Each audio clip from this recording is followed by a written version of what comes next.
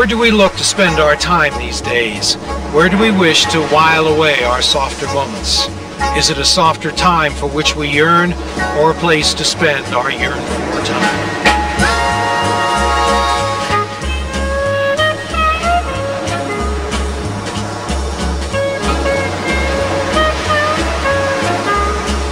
Do we long with wistful envy for this place, to feel the warm sand between our toes, the smell of salt air, the sugar-sweet taste of cotton candy, to be sun-cooked or cosseted as we choose?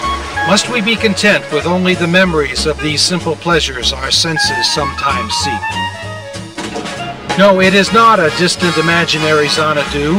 It is real and it is here. A place where people have sought these simple pleasures for almost a century the Santa Cruz Beach and Boardwalk. First born of a promoter's dream in 1904, it burned down in 06 and was rebuilt in time to open for the summer of 1907. It is along this northern curve of Monterey Bay that the wonder and allure that are the special magic of this amusement park have endured. The place is a walking treasure trove of history. The boardwalk itself is a California historic landmark.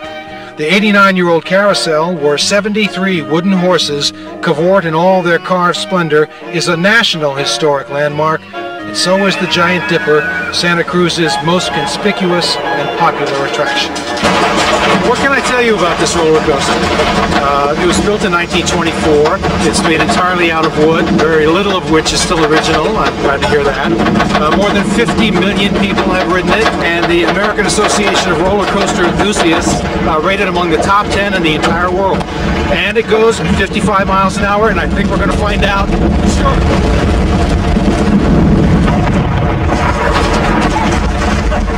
My first job here was running a kiddie train and actually the little bulgy uh, ride over here, uh, I, I ran that when I was 16 and I'm 60 now, so it shows you that we have rides that have lasted. Charles Canfield's father was on the board of directors of the company that operates the boardwalk. It has been a hands-on family affair for most of the past 100 years. Son took over as president in 1984 and has run the beach and boardwalk ever since. One ride that didn't last really wasn't for everyone, and it wasn't technically a ride. It was called the Slide for Life, and it involved a volunteer and a big fellow by the name of Bosco Patterson. He would be attached by his knees to a trapeze and holding a young man, in fact, him as a child, in his arms. They would take off from the top of the Coconut Dome, slide down the line. He had to release the child who would dive in the water. He'd reach, reach up, release his knees, dive in the water himself before the line smacked into the pier. The plunge is gone too. Built in 1907, it was a huge heated indoor saltwater swimming pool.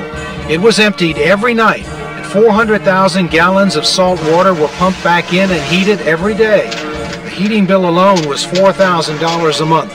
When the public's interest waned in the early 60s, the plunge went under. But places like the beach and boardwalk are all about memories, the kind you make today, the kind you pull out and lovingly relive. And then there are the memories best preserved by those who can tell us about them. I really did grow up down here. That was the only fun place that we had at the time I was over here. And it was good, clean fun. So my dad never worried about me if I said I was going to go to the boardwalk. From the first Miss California beauty pageant of 1924 to the big band sounds of the 30s where the likes of Artie Shaw and Benny Goodman put the Coconut Grove Ballroom on the music map.